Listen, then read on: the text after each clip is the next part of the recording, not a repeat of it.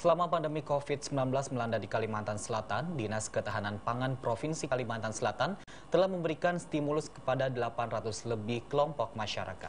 Untuk stimulus ini dinamakan Pekarangan Pangan Lestari atau P2L.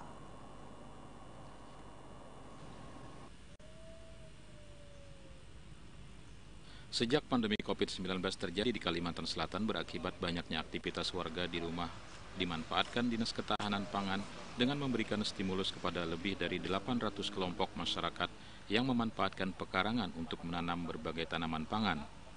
Stimulus ini bekerja sama dengan Kabupaten Kota sekalimantan Selatan.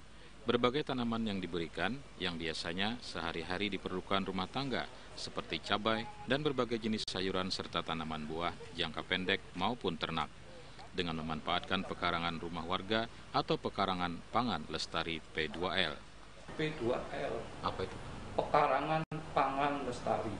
Jadi itu lingkupnya di lingkungan kelompok-kelompok wanita tani, taruna-taruna tani, di pondok pesantren itu kan di pekarangannya itu dimanfaatkan situ bisa tanam sayur-sayuran bisa eh, apa pelihara itik gitu itiknya yang yang paling-paling nggak sampai tiga bulan panen itu yang itik pedaging gitu kan itu bisa pelihara di belakangnya eh, ayam ayam potong.